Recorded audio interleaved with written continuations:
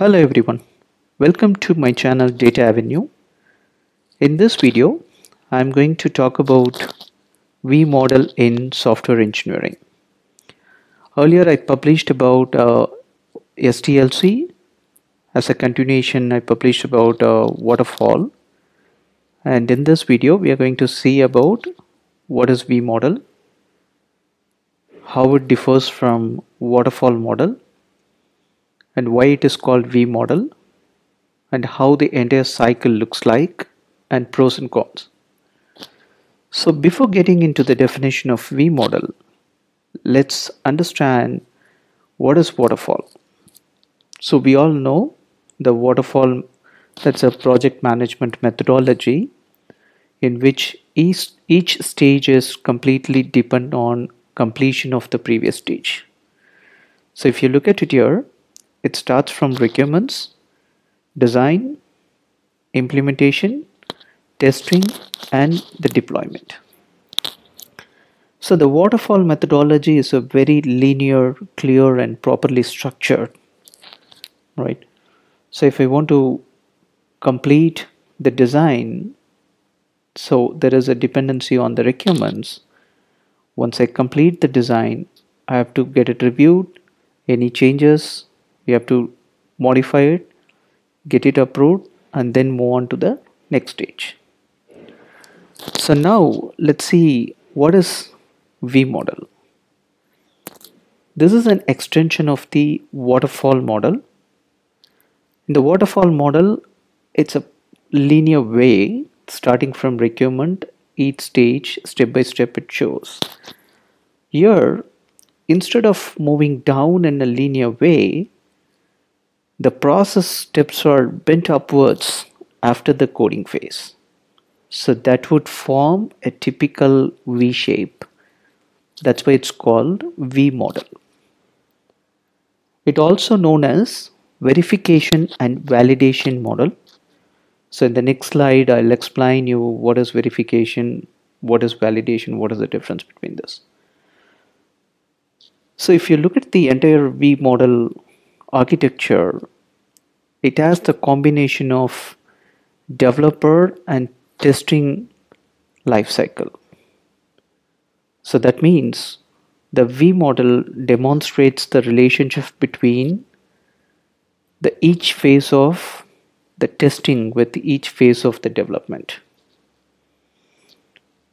So before getting into the entire flow, how it looks in the V model, so we need to understand what is verification, what is validation, what is the difference between these two.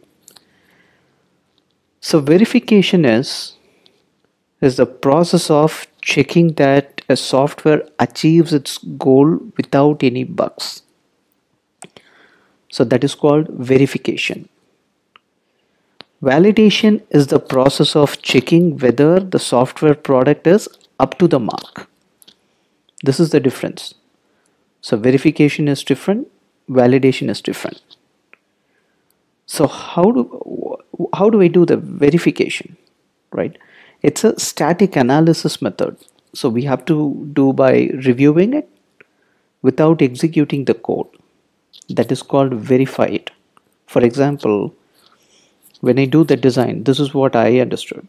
So when I do the design, I verify the design whether it's as per the requirements or not.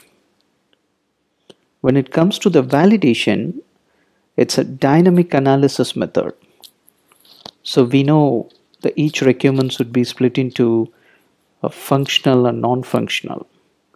So we have to make sure when we develop something, so it has to cover functional and also the non-functional, right? So when I say dynamic analysis, how it differs from the static analysis? The static analysis is just a review method. When it comes to the dynamic analysis, this is after we execute the code. For an example, validate or test an application, whether it's as per the design. Right? We have to execute something here. Then only we can able to validate it. So now let's look at the, the architecture, how it looks in the V model. So as mentioned in my first slide, it has both developer's lifecycle and tester's lifecycle. So the phases covered in this developer's lifecycle is the verification phase. So this is what we reviewed.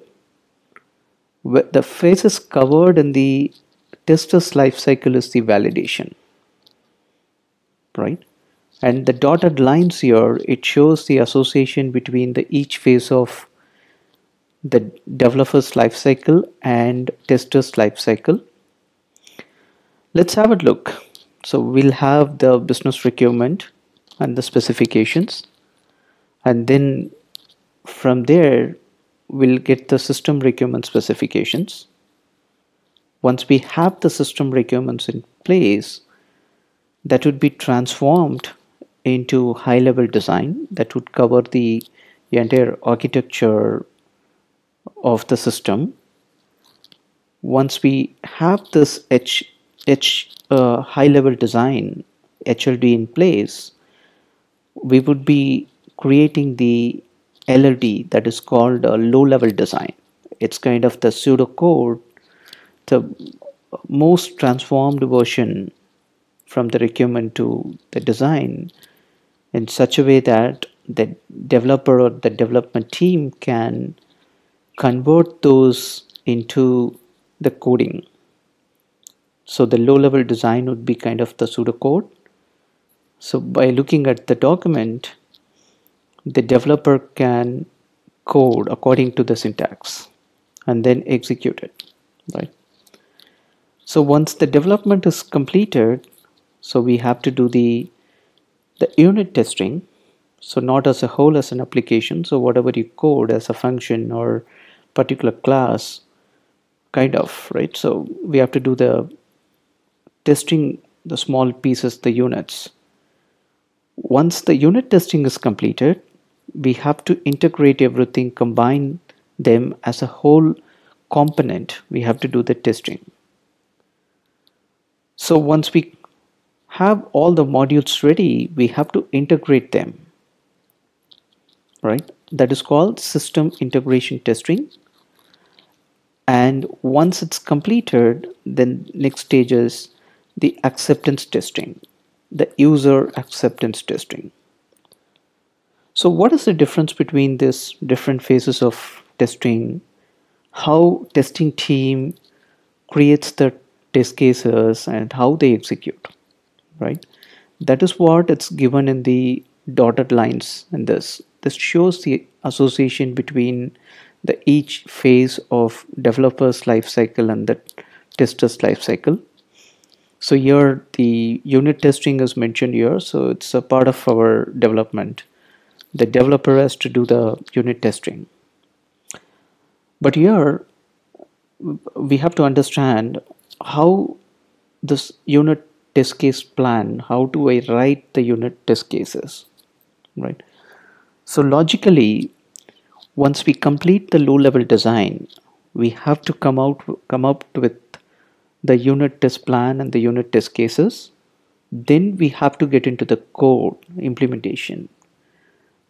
Then only it's easy for us to validate whether the coding is done according to the standard or according to the design but in practically what most of the developers would do is once they complete the design they code it and then write the test case. So that's a wrong thing. If we follow that that may not give you the 100% coverage. That would give more defects in QA or uh, UAT so once we complete the unit testing so that would be there in the dev machine development environment then moving to the SIT the system integration testing or QA testing how the testing team creates the test plan is for testing in the QA they refer the design document. For SIT testing they refer the system requirement specification documents.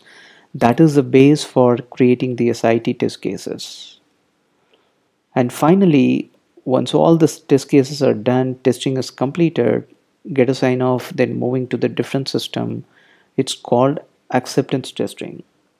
Here it's called UAT testing as well user acceptance testing. What they do is according to the business requirement everything is correct or not validating it against the business requirement. So usually the users who gave the requirements have to provide a green signal to go ahead and deploy it in the code right? So when either the users are doing a testing or they will coordinate with the testing team who completed the integration testing. They ask according to questions according to the business requirements and the scenarios once we demonstrate it to them they will provide the acceptance email. So that means like uh, we'll go ahead for the production deployment. So let's look at it. What are the advantages and disadvantages of v model? It's purely similar to a waterfall model. If you look at the advantages, this is a highly disciplined model and phases are completed one at a time. And it is a very good model. It works well for smaller projects where the requirements are very well understood. There won't be any changes and it's very simple and easy to use it. And each phase has a specific deliverables or review process. It has a very good documentation in place. Uh, proper auditing would be done. If you look at the disadvantage it's not a good fit for the complex projects. Or other words it's not a good fit for long and ongoing projects. And also not a great fit for where the requirements are changing it very frequently right? Because once the application get into the different testing phase it's very difficult to come back and change the functionality. So we have to see the timeline and the impact and uh, we have to plan how to go to production with uh, the current system. Then we have to consider these changes in the next cycle or the different enhancements and finally some people was asking me uh, how do I contact you? So you can contact me via LinkedIn or email and phone number. With this bye for now. Thank you for your support and thanks for watching